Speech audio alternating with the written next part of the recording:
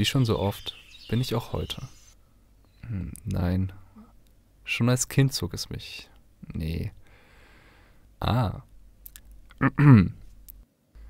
Als ich mich heute früh auf den Weg für einen kleinen Spaziergang in den Wald machte, da ahnte ich noch nicht, dass ich diesen Tag nie mehr wieder vergessen würde. Dabei fing alles ganz normal an. Es ist nichts Außergewöhnliches, dass ich an manch stressigen Tagen Zuflucht in der Natur suche. Wenn mir der Lärm der Großstadt zu viel wird, erfreue ich mich umso mehr daran, den vierstimmigen Gesängen unserer Mutter Erde zu lauschen. Wenn ich an den himmelshoch türmenden Bäumen heraufschaue und die goldenen Sonnenstrahlen durch die Wolken glitzern sehe, dann erfüllt sich mein Geist mit einer wundervollen und einzigartigen Sensation, die nichts anderem auf dieser Welt gleicht. Ich fühle mich zu Hause. Ein klein wenig abseits der Stadt liegt mein persönlicher Lieblingsort. Es ist ein kleines Stück Wald, das an einen See grenzt, worin eine winzige Insel schwimmt. Bevor ich mich heute auf den Weg zur Arbeit machte, wollte ich nur schnell ein paar Schritte gehen, um einen klaren Kopf zu bekommen.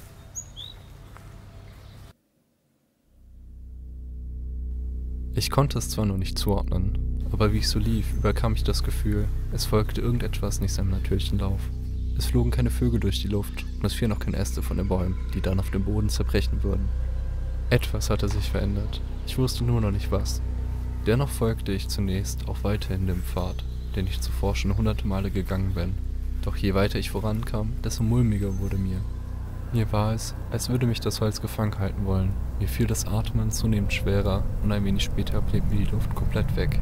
Ich musste raus, raus aus dem Wald, so schnell es ging.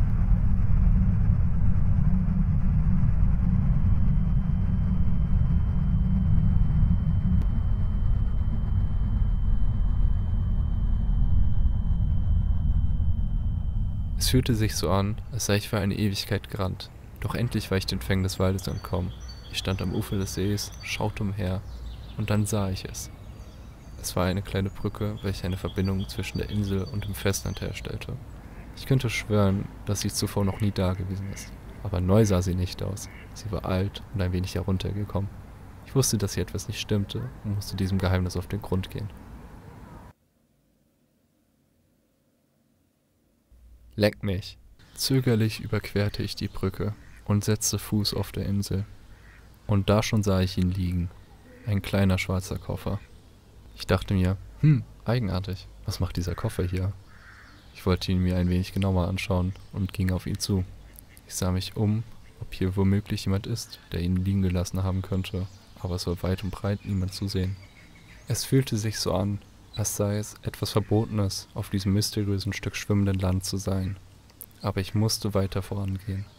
Und da stand ich nun, alleine auf einer kleinen Insel mit einem unheimlichen Koffer vor mir auf dem Boden.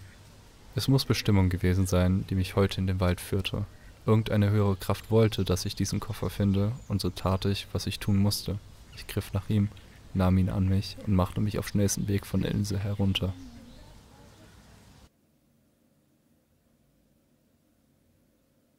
Ähm, na, weil er verschlossen war. Deshalb habe ich ihn nicht aufbekommen und musste ihn mitnehmen.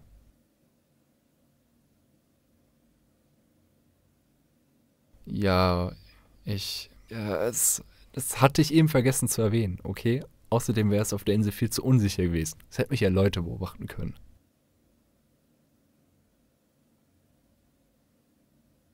Ja, aber da. Das war doch davor. Es hätte sich doch in der Zwischenzeit jemand an mich heranschleichen können. Darf ich jetzt bitte meine Geschichte weitererzählen? Das ist doch das Geheimnis.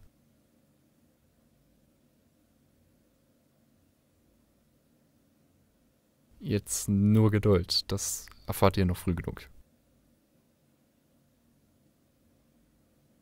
Ich weiß es noch nicht, okay? Ich habe keine Ahnung, was da drin ist. So weit bin ich noch nicht. Es muss irgendwas Wichtiges, irgendwas Weltbewegendes sein. Aber ich weiß einfach noch nicht was. Jetzt zufrieden? Meine Güte. Jetzt bin ich total raus. Ich weiß weder, wo ich gerade war, noch was ich als nächstes sagen wollte. Vielen Dank auch.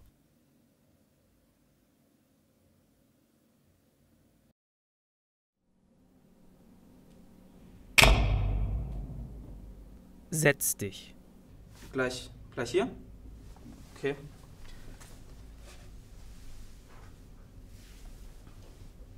Stell dich vor.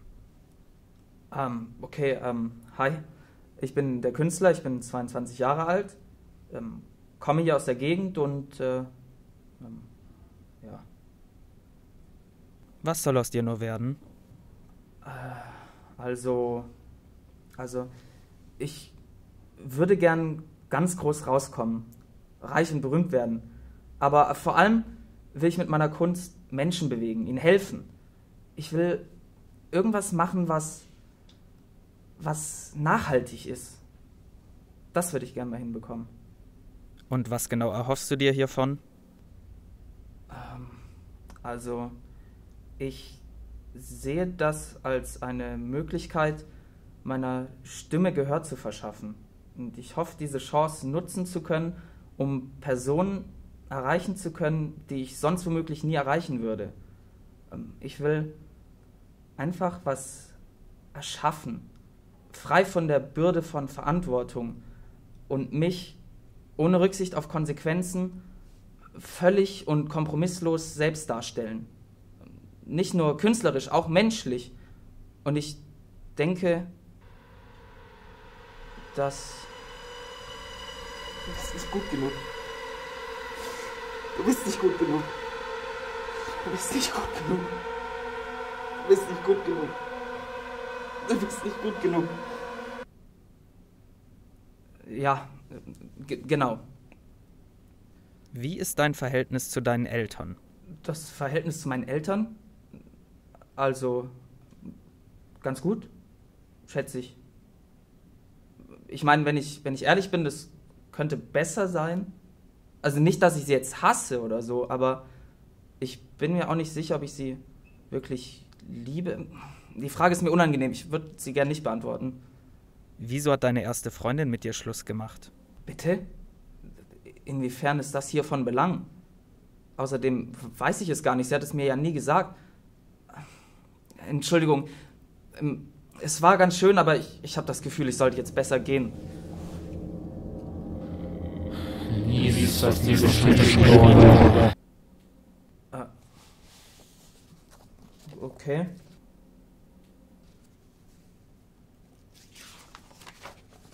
Hier. Ich weiß es noch, als wäre es gestern gewesen.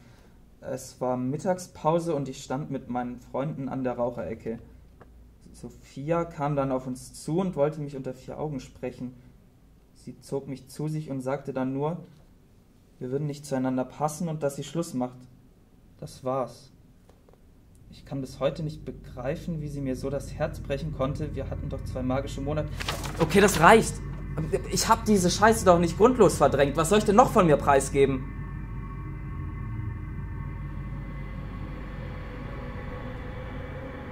Wer bist du denn? Das weißt du genau. Und was machst du hier? Ich will sehen, wie du zusammenbrichst. Was mache ich hier? Du liest einfach vor, was für dich geschrieben wurde.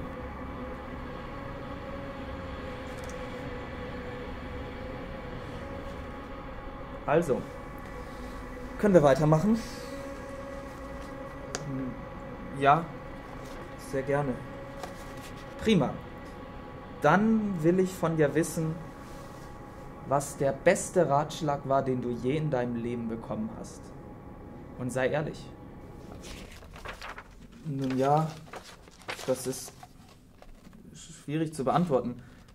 Ich schätze, mir hat mein ehemaliger bester Freund gesagt, dass man nicht zu viele Gedanken darauf verschwenden sollte, was andere von einem halten, weil man sich sonst nur einen Kopf darüber macht und nicht mehr auf die wichtigen Dinge achtet.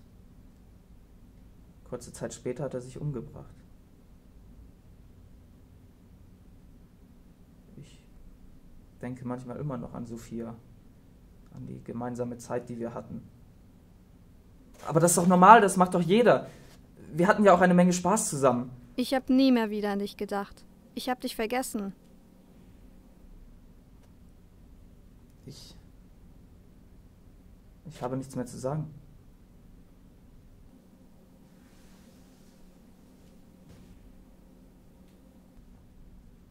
Okay, Leute, ihr könnt zusammenpacken. Wir hören auf an der Stelle, wir brechen ab.